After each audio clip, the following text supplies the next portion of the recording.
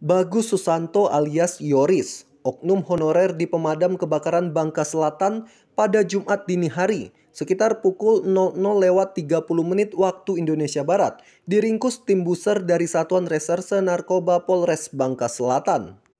Tersangka diamankan petugas tanpa perlawanan di sebuah rumah yang terletak di Jalan Bukit Permai, Kota Tobuali. Kapolres Bangka Selatan AKBP Joko Isnawan melalui Kasat Narkoba Polres Bangka Selatan, AKP Yandri C. Akip mengatakan, Yoris berhasil ditangkap setelah petugas menerima informasi dari masyarakat adanya peredaran narkotika di kawasan Jalan Bukit Permai Toboali.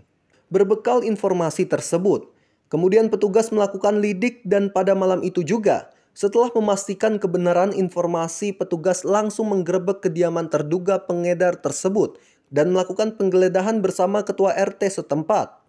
Dari penggeledahan yang dilakukan, anggota berhasil menemukan barang bukti diduga narkotika jenis sabu-sabu, kurang lebih seberat 16,24 gram yang disimpan di dalam rumah pelaku.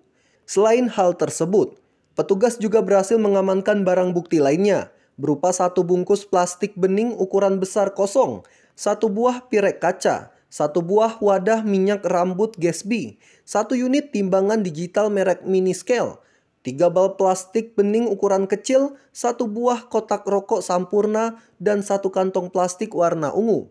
Berdasarkan pengakuan tersangka, bahwa barang haram tersebut didapat dari seorang yang berada di Pangkal Pinang dan telah bertransaksi sebanyak 30 kali. Ya, kita juga berhasil mengamankan satu orang tersangka berinisial BG. Berikut barang bukti kurang lebih seberat 17 gram sabu-sabu nah, dari tangan tersangka dan tersangka ini adalah uh, adalah yang sudah kita jadikan target. Tersangka sudah kita amankan di sel Polres Bangka Selatan. Peran tersangka sampai saat ini masih kita dalami sebagai pengedar dari barang tersebut. Uh, sehari-hari yang bersangkutan adalah honorer di pemadam kebakaran Kabupaten Bangka Selatan.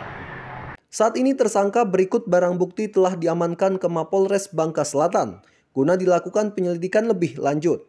Dari Tobuali, Bangka Selatan, Eko Septianto Rasim, TVRI Bangka Belitung, melaporkan.